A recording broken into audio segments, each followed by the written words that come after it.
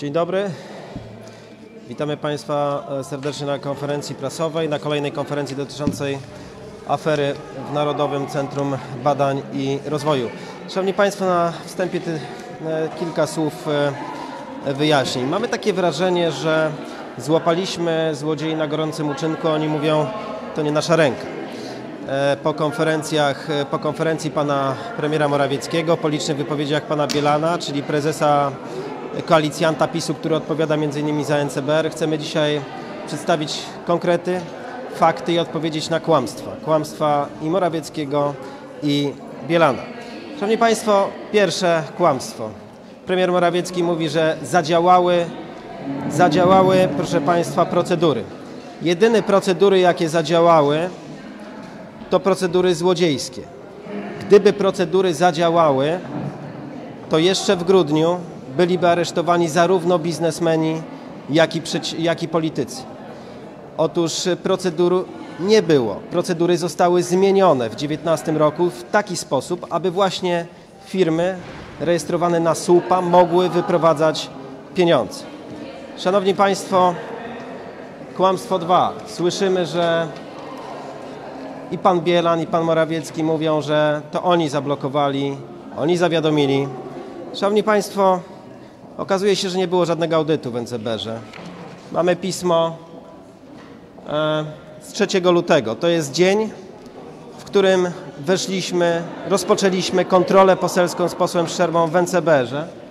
I dopiero 3 lutego jest wniosek o przeprowadzenie kontroli podpisany przez dyrektora Kucha, i jeszcze w niej powołuje się na informacje, które już pojawiły się w mediach. To jest kłamstwo numer dwa.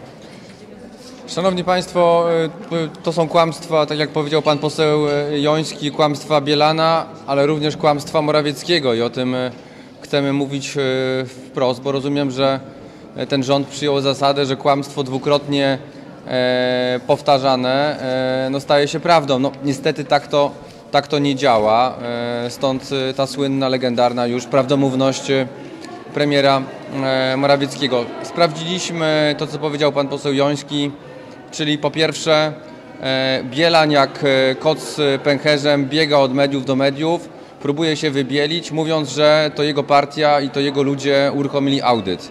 Dzisiaj z całą stanowczością potwierdzamy, Żadnego audytu nie było. To jest e, informacja, którą otrzymaliśmy dzisiaj w NCBR.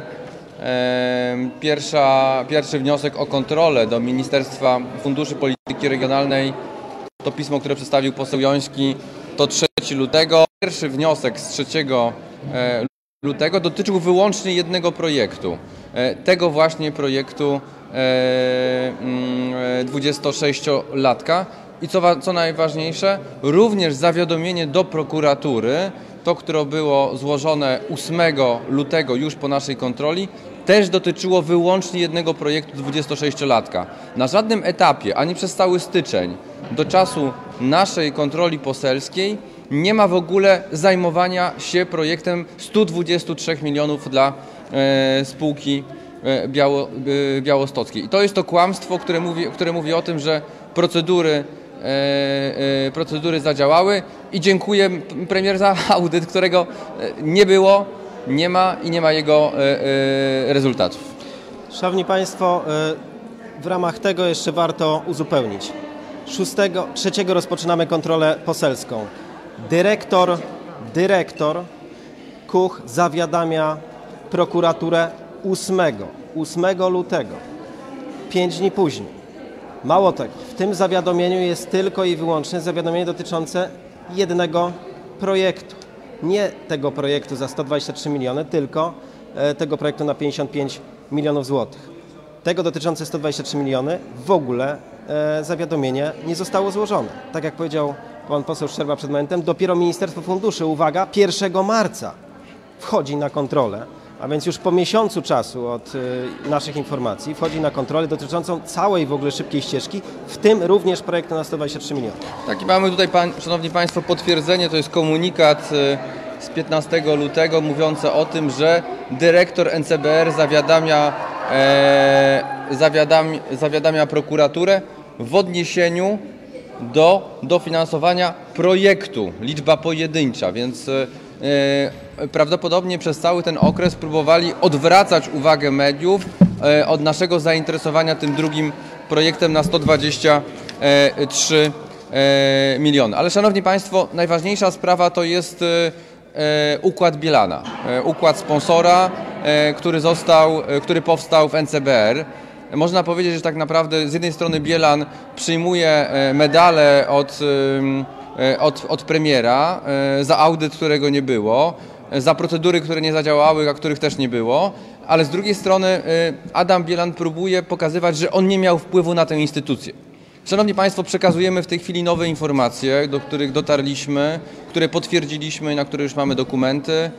Wtedy, kiedy e, w sierpniu 2022 roku Partia Republikańska w ramach negocjacji z Kaczyńskim i Morawieckim dostała e, w nadzór NCBR, e, został zamontowany tam e, dyrektor Paweł Kuch. To jest osoba związana z Partią Republikańską poprzez brata, poprzez kancelarię, którą Bielan zna bardzo dobrze, ponieważ w tej kancelarii pracowała przez lata jego żona. I z tej kancelarii prawnej poszedł desant ludzi do NCBR-u. Szanowni Państwo, chciałbym bardzo wyraźnie powiedzieć, że od września 2022 roku w tej instytucji zostało zatrudnionych dziewięciu doradców. Przez cały ten okres Partia Republikańska miała dziewięciu doradców przy dyrektorze, którym, e, e, którego e, zamontowała. Dziewięciu doradców, w tym słynny pan Ignacy Bobruk, ale co bardzo ważne, Bielan Bobruka zainstalował w NCBR, zanim formalnie przejął tę instytucję. Już w maju 2022 roku pan Ignacy Bobruk, będąc asystentem europosła, finansowany przez Parlament Europejski, równolegle pracuje w NCBR e, na zleceniu. Więc nie mówimy o jakimś byłym asystencie Bielana, e, który jest zatrudniony w instytucji po zakończeniu jego aktywności publicznej, ale dokładnie w tym samym czasie pan Ignacy Bobruk był asystentem Bielana, bo to był maj, czerwiec, lipiec, sierpień, wrzesień i tak dalej, i tak. I jednocześnie brał pieniądze z NCBR za maj, czerwiec, lipiec, sierpień, wrzesień i tak dalej, i dalej. E, Jak powiedzieliśmy, było to miesięcznie około 24 e, tysięcy. I szanowni Państwo, ważna informacja, już kończę ten wątek pana Bobruka. Pan Bobruk znika. Jak znika dyrektor Kuch, e, Adam Bielan e, robi wielką ewakuację wszystkich swoich ludzi, zabiera pana Bobruka z tej instytucji, ale co bardzo ważne, no nie zabiera z niczym. Nie zabiera z pustą torbą, e, z pustą reklamówką, tylko zabiera z reklamówką, z kasą. Szanowni Państwo, tak, bo pan Bobruk, mimo tego, że był asystentem Bielana, jeszcze był zatrudniony na giełdzie papierów wartościowych. I wtedy, kiedy pan Bobruk był zatrudniony na giełdzie papierów wartościowych, był doradcą dyrektora od Bielana, załatwił sobie projekt. Tak, szanowni państwo, projekt Szybka Ścieżka. Kto otrzymał e, 8 milionów na projekt e, Szybka Ścieżka? Giełda papierów wartościowych. Kto ma zarządzać tym projektem? No Ignacy Bobruk, pracownik, wicedyrektor od projektów badawczo-rozwojowych. Więc pojawił się Bobruk od Bielana, przygotował konkurs Szybka Ścieżka, załatwił 8 milionów dla giełdy papierów wartościowych. E, nowy dyrektor, no zwolnił Bobruka, bo on w ogóle się w firmie nie pokazywał, tylko te pieniądze przygarniał na konto. I z tymi pieniędzmi teraz pojechał do GPW i będzie zarządzał wielkim Ech. projektem. Muszę jeszcze uzupełnić, bo y, przy tych wszystkich funkcjach y, tego młodego człowieka, byłego asystenta Bielana, jeszcze Michał po- zapomniał o jednej jego funkcji. Otóż tylko, żeby dodać, pan Bobruk, mając 25 lat, wpłaca na konto kampanię pana Bielana 17 tysięcy. Kiedy pan Bielan zostaje europarlamentarzystą, on zostaje i dyrektorem CPK, i w, w krótkim okresie asystentem pana Bielana, i zostaje wicedyrektorem na giełdzie papierów wartościowych, i doradcą później w Narodowym Centrum Badań i Rozwoju. No i słynny wniosek, który składał, składała no, e, firma, w której on jest e, wicedyrektorem. Dzisiaj rozmawialiśmy z nowym dyrektorem Narodowego Centrum Badań i Rozwoju w tej sprawie. E, Przekazaliśmy, e, że to jest absolutnie rażący konflikt e, interesów. No ale to nie koniec. Jeszcze zatrzymam się na chwilę przy doradcach. Pan Bielan mówi, że mamy rację, mówiąc, że faktycznie ktoś chciał wyprowadzić pieniądze, że tutaj jest e, najprawdopodobniej ten biznesmen z Białego Stoku e, w to zaangażowany, że jest pan e, również Bednarek za tym wszystkim stoi. Otóż pan Bednarek, jak się dzisiaj okazuje, też był asystentem, e, doradcą, Doradcą. pana dyrektora Kucha.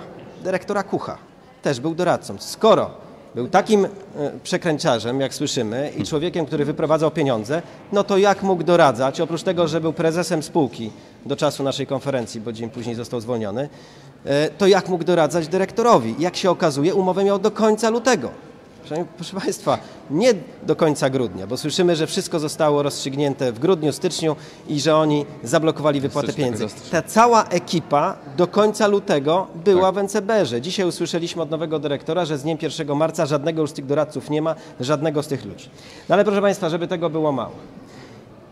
Ostatnio A jeszcze można by dużo powiedzieć. Jeszcze by, jeszcze by można było dużo powiedzieć, ale jest jeszcze jeden wątek, który nas równie, e, ró- równie niepokoi. Otóż ostatnio przedstawialiśmy Państwu spółkę NCBR Investment Fund. Pana, który został powiązany, oczywiście pokazaliśmy to na grafach, z politykami, z biznes- biznesmenami, e, został zwolniony. Jest druga spółka. NCBR Ideas. Ideas. E, Pomysł, Ta pomysły. jest, e, ta jest e, od niedawna, od 2021 roku. Okazuje się, że prezesem tej spółki jest człowiek, który założył wcześniej inną firmę, która będzie podwykonawcą dwóch projektów, które brały udział w szybkiej ścieżce na kwotę 6,2 miliona złotych i 4,8. Przekazaliśmy dzisiaj panu dyrektorowi, zrobił duże oczy, Powiedział, że sprawdzi oczywiście to wszystko, ale proszę Państwa, to jest jakieś kompletne pomylenie z poplątaniem. Mamy do czynienia z ordynarnym złodziejstwem. Mamy do czynienia że, ze zmianą e, e, w taki sposób regulaminów, żeby móc wyprowadzać te pieniądze. No i okazuje się, że po raz kolejny mamy zbieg okoliczności, że osoby, które pracują dzisiaj w NCBR-ze, są prezesami, dyrektorami, e, mają udziały bądź też otwierały wcześniej firmy, które startowały w, tym samym kurs- konkursie szybkiej ścieżki za ogromne miliony złotych. Jaką czelność ma dzisiaj premier Morawiecki z Bielanem mówiąc, że oni zablokowali, że oni znaleźli tych złodziei? Ja pana Bielana ani razu nie widziałem na kontroli poselskiej e, w NCBR-ze. Ani razu go nie widziałem na konferencji prasowej, gdzie w styczniu bądź w lutym by informował o tym procederze. Choć jak widać, w wypowiedziach jest bardzo poinformowany, co się działo w NCBR-ze. Wie wszystko, zna wszystkie nazwiska. Ale nigdy go tam nie widziałem i nigdy wcześniej przed naszymi konferencjami nie mówił o tym, że ktoś chciał wyprowadzić pieniądze. E, Jest to podział łupów, jest to skok e, na kasę i, i tej sprawy nie zostawimy. Tak, szanowni państwo, y, właśnie, bo ja chciałbym się odnosić również do tych konkretnych słów e, Adama Bielana i pokazywać te absolutne, no bezczelne kłamstwa. Pan europoseł Bielan w kilku programach telewizyjnych powiedział, że jak słusznie zauważyli posłowie Szczerba-Joński, e, pan Bednarek był jakby w centrum tego układu. No tak, rzeczywiście był w centrum tego układu, bo pierwszą decyzją dyrektora Kucha, który został tam za, zainstalowany, no było powołanie pana Bednarka już we wrześniu zeszłego roku na doradcę e, dyrektora.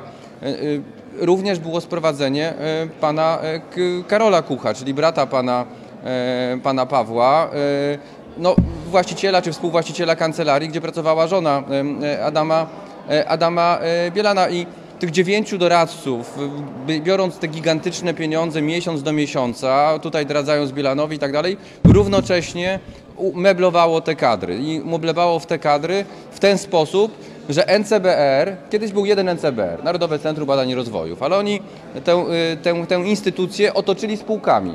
Najpierw utoczyli, y, utworzyli spółkę e, NCBR no bo oczywiście e, e, w państwie PiS wszystko musi być plus, więc jest spółka NCBR jest spółka e, NCBR Invest Fund, e, ASI, gdzie zainstalowali tego bednarka, który doradzał przez kilka miesięcy mm, dyrektorowi od Bielana. E, e, Kolejna spółka to NCBR e, Ideas, czyli pomysły, e, gdzie prezes, który siedzi na e, e, ósmym piętrze, e, realizuje projekty, które zostały wskazane na ósmym piętrze w NCBR w ramach szybkiej ścieżki. Dokładnie jego żona mm, e, e, jest w tej chwili e, podwykonawcą tychże projektów. I mamy jeszcze czwartą spółkę, która się nazywa NCBR Access, I tutaj jest bardzo ciekawa historia. Oczywiście wtedy, kiedy pojawia się Bielan w NCBR-ze, zapada decyzja kluczowa. E, Jak Państwo być może wiecie, bo często tam, rzadko tam bywa, ale e, Adam Bielan jest posłem z Radomia, europosłem z Radomia, więc e, ponieważ zbliżają się wybory, pewnie będą już w październiku, postanawia przekonać pana dyrektora Kucha, żeby tę siedzibę NCBR Access przenieść z Warszawy do Radomia i tam stworzyć biuro i tam zatrudniać ludzi, no, którzy rozumiem będą pomagać e, w działaniach e, e, przedwyborczym. Tak i zapadła taka decyzja.